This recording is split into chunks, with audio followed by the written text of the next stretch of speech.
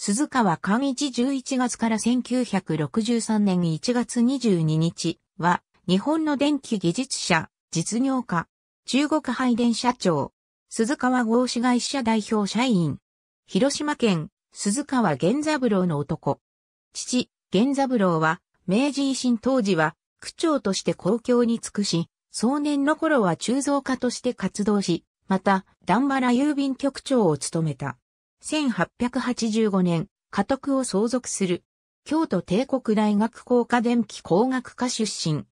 島津公爵家電気事業主任技師、1912年、広島呉電力技師長、支配人、取締役、広島電気取締役、技師長、支配人、常務取締役を経て、副社長。春美音権な努力家で、副社長の時代から、社内外の事務を、ほとんど一人で切り回し、全く、広島電機を背負って立っていた感があった。多年、森谷技師社長を助けた。森谷が、社長優待と同時に、鈴川が、社長になった。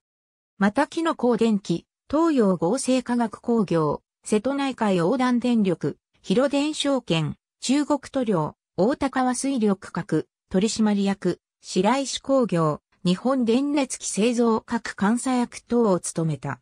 戦後、公職追放となった。